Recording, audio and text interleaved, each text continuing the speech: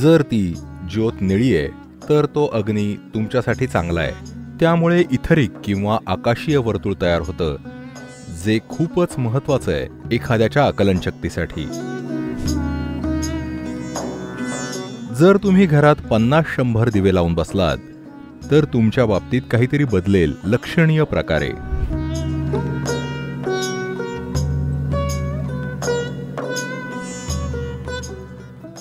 उद्या किंवा परवा दीपावली किंवा दिवाळी आहे. दिवाळीच्या सर्वांना शुभेच्छा. दिवाळी म्हणजे दिव्यांचा सण.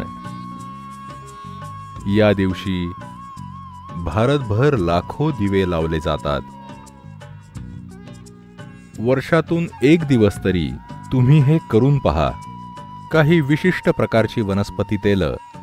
ते विशिष्ट प्रकारचं आहे हे कसं ओळखायचं? जर तुम्ही तीळ तेल किंवा शेंगदाणा तेल किंवा एरंडेल तेल वापरलं तर हे साध्य होईल. पण तुम्हाला ते मिळत नसेल तर तुम्ही जर दिवा लावलात तर तो असा असला पाहिजे ज्याचा खूप जास्त स्मोकिंग पॉइंट आहे.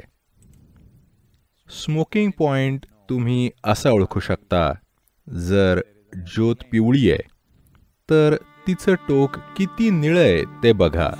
जर निळं जास्त आहे तर त्याचा स्मोकिंग पॉइंट जास्त आहे. तो अग्नी तुमच्यासाठी चांगला आहे.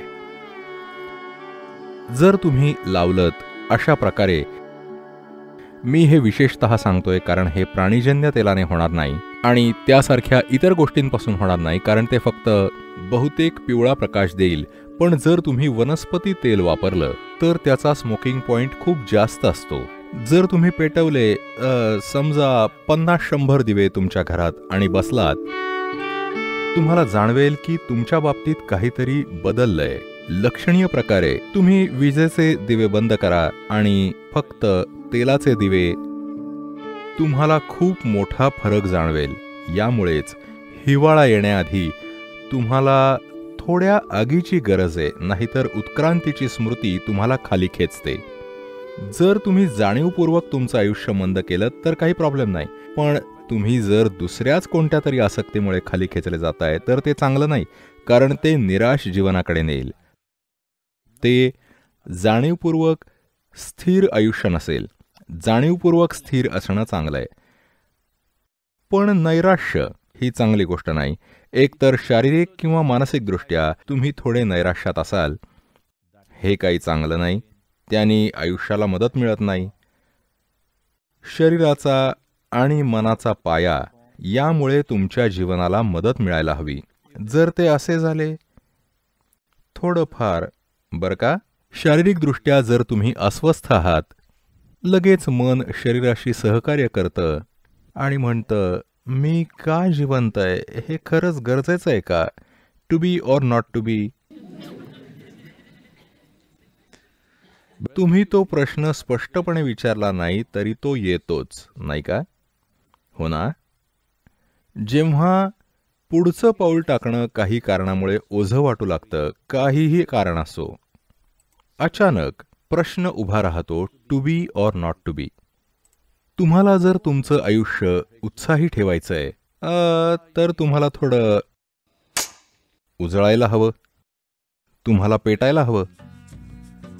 म्हणून दिवाळी हा तोच प्रयत्न आहे जेव्हा या पृथ्वीवरचं जीवन जात असतं किमान उत्तर गोलार्धात ते निष्क्रियतेकडे जात असतं. तेव्हा आपण अनेक प्रकारे त्याला उजळवायचा प्रयत्न करतो. पुढच्या महिन्यापासून एक संपूर्ण महिनाभर लोक खूप सारे दिवे लावतात त्यांच्या घरात. उत्साह कायम राहावा म्हणून संगीत महोत्सव होतात विविध कार्यक्रम होतात. जेणेकरून तुम्ही हिवाळ्यात असं होऊ नये. जर तुम्ही वर्षभर तसे आहात माझं म्हणणं आहे की संध्याकाळी जर तुम्ही नेहमी असे आहात दुसऱ्या कशामुळे तरी तर तुम्ही निष्क्रियतेच्या द्रावणात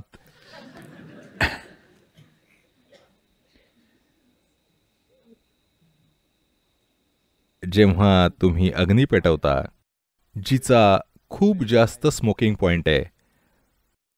समजा एका तेलाच्या दिव्याची ज्योत साधारण तीन चार इंच असते. समजा तिचा तृतीयांश भाग जर निळा आहे तर किमान अडीच ते तीन इंच व्यासाचं एक इथेरिक किंवा आकाशिक वर्तुळ ते तयार करतं जे खूप महत्वाचं ठरतं एखाद्याच्या आकलन शक्तीसाठी.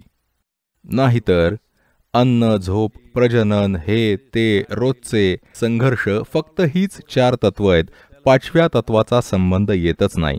जर तुम्हाला आकलन शक्ती वाढवायची आहे तर आकाश महत्वाचं आहे. तर विशेषत जेव्हा भौतिक जीवन मंदावत असतं तेव्हा तुम्हाला ते एक पायरी म्हणून वापरायचं असतं.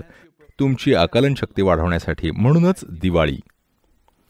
तर तुम्ही सगळे कुठल्याही धर्माचे संस्कृतीचे असा कारण हे धार्मिक सण नाहीत. जरी आजकाल स्पर्धेमुळे ते तसे झालेत ते तसं झालंय दुर्दैवानी. नाहीतर हे सर्वांनी साजरे केले कारण सर्वांना ही समज होती की याचा आपल्या भौगोलिक स्थितीशी संबंध आहे. आपण या पृथ्वीवर कुठल्या जागी आहोत आणि त्यावेळी पृथ्वीवर काय होतंय? याचा संबंध आपल्या कॅलेंडर आणि सौरमंडळाशी आहे. आपल्या विश्वास प्रणालींशी नाही.